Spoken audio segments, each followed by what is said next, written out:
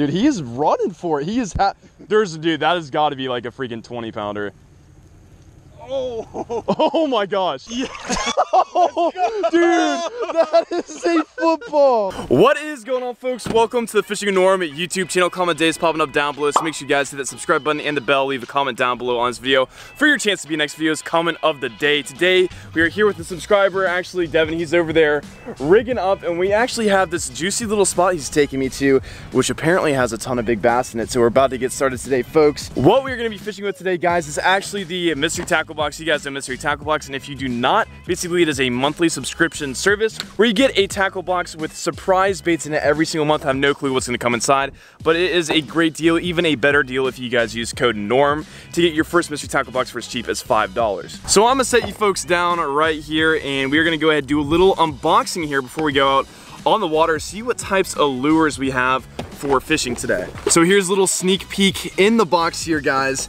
Uh, right off the bat, I do see a square bill in this box. The square bill is a great fishing lure for the fall time. This one is actually a shad pattern, which is absolutely perfect. I've no, is there shad in here, Devin? There is shad in here, so this might be a key player today. Square bill, one of my favorite baits to throw this time of year. And for these boxes, they actually choose out lures for the time of year that you're fishing, so that makes sense that a uh, shad square bill's in here. I also see another square bill. This one dives four to eight foot. Don't know if we'll be using this one in the pond today. It might be a little bit too deep of a diver, but this would be great for lake fishing right here, guys. I love that color right there. So there's another square bill. One diving zero to one foot, one diving four to eight foot. That way I can kind of cover everything I need to. Next up, we have the big bite baits little paddle tail swim baits right here. These would be great for a trailer, like on a chatterbait or a jig, something like that. I don't know. We might have to do that. I don't know what the deal is with this lip on the front right here. I've never thrown a frog like this, but I don't know, that could actually probably slay. And they've already trimmed the skirt and everything on this. I actually really like that. All right, so what we have left in here, guys, is obviously the sticker. I love getting the stickers. And we have the Z-Man Craws, might be a player today, and also the Lunker City. These would be great. Like, oh my gosh. Uh-oh. But we have these. These would be great probably on a drop shot, something like that, but I do not have anything to throw that with today. And then we also have two hooks here, which I'm assuming are for those paddle tail swim baits in the 4-aught size. Okay, Devin, I'm gonna let you pick out uh, one lure out of the mystery tackle box here. Ooh. I got my eyes on these craws right here. I think this is gonna be the juice today, guys. Ooh, okay. All right, I'll let you throw the cross, which means I get to choose from uh, whatever is left in here, but I think we got some good options.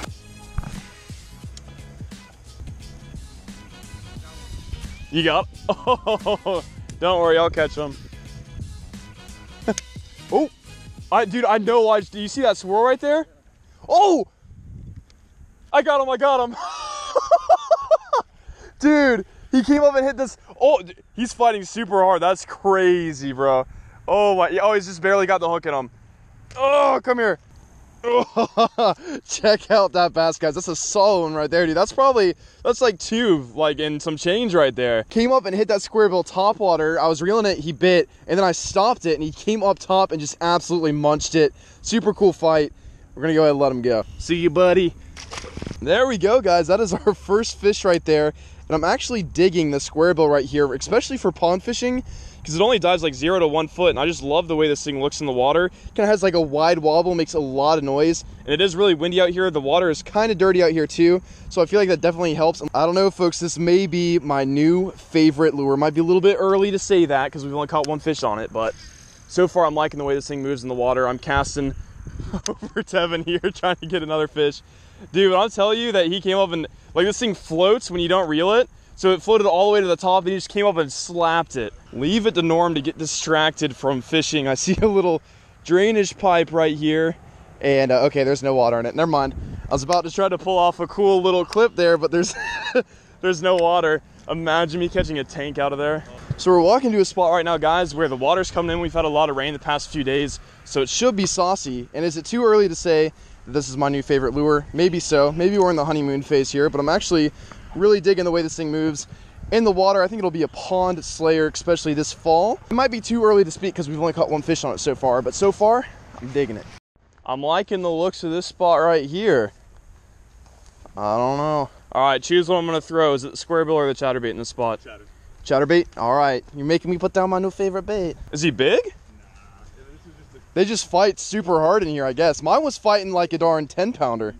Is he decent? Yeah, pretty decent to me. I'm jumping down.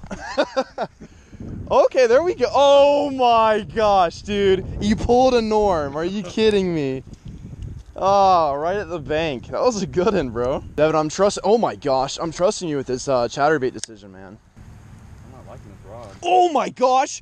Oh, he, he, he, I have not been nailed like that. Oh my god, he bit the tail off. Did you see that? Yep. Dude, throw that thing right there. I was just messing around. Sometimes when I'm fishing, I forget I'm like trying to catch fish.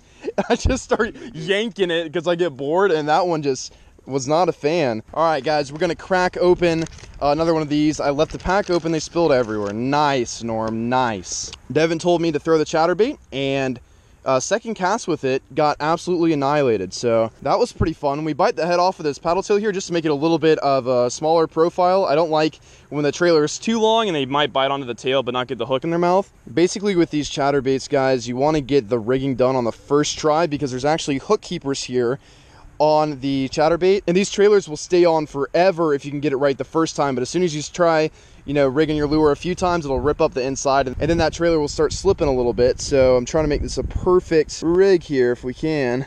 Beautiful. And that's what your chatterbait should look like right there. Oh. Got him on the chatterbait Dude, it literally landed and I hopped it once and he was already on it. That was crazy. All right. oh my, dude, like three bass right there. Cast like like cast your worm. That there was like a bass like three times the size of this one. Like followed him up. I'm not even kidding. Oh my, and the paddle tail came off again, bro. Dude, that was a big one that came up and followed him up. Oh, he was massive. Oh my gosh. How, how come I hooked this one on the chatterbait? That makes no sense. Technically, it's more difficult to catch smaller bass because they have smaller mouths. So it took it takes more skill to catch this one than the big ones, guys. Look at it like that. Most talented bass fisherman out there. And we got to go get another paddle tail. The tail came off. I like the action on these paddle tails. It's just, from what I can tell, I've all, this is my first time fishing with them. It just seems that they break way too easy. Ooh. Oh, yeah, I thought he came off. You still got him? I just missed him. oh, that's a good one. I'm gonna get the big camera. Oh, it's all the way over there. No mind. It's in the tunnel because it's raining. I put, I had to hide the big camera, guys, so it didn't get wet. It's raining out here. That is a good bass, though. You throwing the worm right now? Yeah, throwing a Texas rig. Ooh, the Texas rig getting it done. They're stacked out here on this point. Oh, yeah, they fight out here like no other. Heck yeah, bro. That's what we like to see right there. The speed worm watermelon red. A classic, an all-time favorite. So guys, we're throwing the bluegill color jackhammer here. I think this is like the best color to match these trailers. So this is a perfect representation of a bluegill. Normally when I throw a darker color chatterbaits, I like to go with that craw trailer, but this trailer right here actually looks super good in the water. It stands straight up. I actually got to show you this. This is crazy.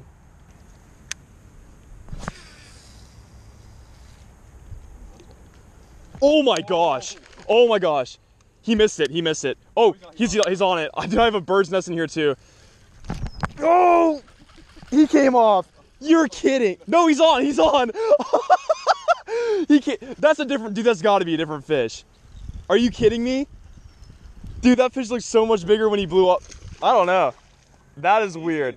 Because I because I started reeling again, I felt my chatterbait chattering, which normally means the fish is off, and then this one came. I I don't know what just happened there. Topwater chatterbait bite is on, confirmed. confirmed. Somehow a perfect hook set on that one. I have no clue how that even happened.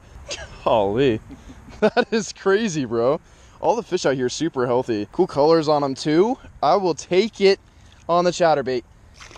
See you, bud. Dude, that was that was probably the most fun chatterbait bite I've had in my whole entire life. We're about to try to do it again. You ready for this? What's that, a chatterbait on top?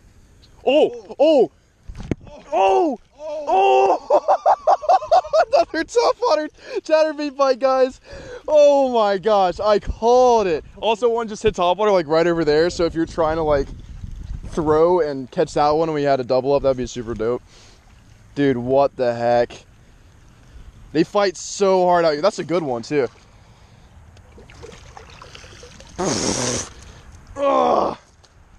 Get over here, boy. Look at that. You don't even need to be eating anymore, guy. You need to be uh, on that Weight Watchers plan, man. Holy cow. Folks, we're gonna give this one a weigh really quick just for the heck of it. Just so you guys can see how much these fish weigh that we're catching out here. Because I know the GoPro does make them look a little bit smaller and sometimes a little bit bigger depending on the angle. Boom, there we go. Two pounds, five ounces. That's a solid fish right there. Oh, same so Oh my gosh. Dude, the same spot the topwater bite is on without topwater lures, throwing bottom baits. We're catching them on top. This is crazy. See ya, bud. Oh, that was sick. Well, the trailer held up this time, which is uh, which is good. Oh no, that's one dangerous cast you're making there. Oh, yep. oh my gosh, dude. That was a big swirl too. Is that a that is a fish? And I'm a big dumb idiot, dude, and I set the hook with slack line. Oh my gosh, that was like out in the middle too. Like that was deep. I was sitting here hopping the chatterbait, guys uh, not even like swimming it, just barely bringing it along to the bottom. And I just see my line kind of going off to one side. I'm like, hmm. Attaboy. See a squeaky? Yeah. No. Shake him off. oh, he's not too bad. Too bad. He thick though. Nice, dude. Football season. Oh, nice. Is he pulling? Dude, he is running for it. He is. Ha- There's, dude, that has got to be like a freaking 20 pounder. Oh! Oh my gosh. I was not ready for that. Dude, that is, that's got to be a. T- Holy cow. Nah, he's not that big. Are you sure? I mean, he's probably. Dude, you were fighting that thing. Oh my oh. gosh. That is a freaking tank. Dude, oh my gosh. Here, careful, careful with them. Dude, that might be your PB for real. Oh, get out of that. Oh, my, oh my gosh. Oh my gosh. Oh my gosh. Here, I'll grab him. Oh my. Okay, he's still here. You scare me. That is a tank. Yeah. dude, that is a football. What are you doing? Oh my god. Oh, we gotta get a weight on that. Yeah, I'll go grab your scale real All right. quick. If you, I don't want to be responsible. That is a mondo, bro. Oh my gosh. It is a very rare occurrence on the Fishing with Norm YouTube channel that we catch a big bass and have a scale at the same time. Like this might be a first. What, what are we saying? Ooh, uh, I'm saying six and a half. I was gonna say 6'11. Six eleven, okay. Oh. Seven eight. See, I'm not gonna lie. I was gonna say seven, but I didn't want to look dumb on camera. Oh my god. Dude, a seven pound eight ouncer. Look at that, bro. Oh my gosh. Let's go. On the Magnum Speedworm too. All right, let's get the release on this big boy.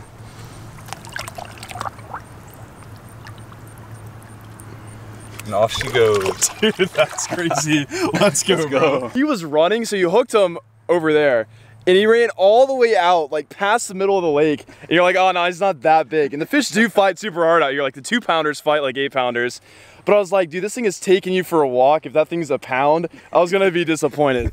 but congratulations on catching a seven pound, eight pound bass. That is, it's quite the accomplishment Good here. day, good day. All right, so show them the worm you caught that big one on real quick, because I'm sure people are interested. All right, I'm just using a uh, watermelon red Magnum speed worm. You can get them at Walmart. there you go.